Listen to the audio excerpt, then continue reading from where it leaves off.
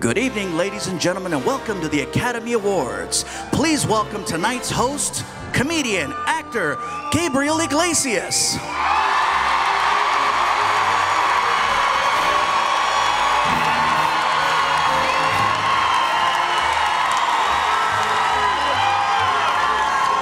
Good evening, ladies and gentlemen, and, uh, and welcome to the Oscars. Uh, I am your host, Gabriel Iglesias. So, um, So I got to tell you guys, in keeping with tradition uh, here at the Oscars, uh, here's another Mexican doing a job no one else wants.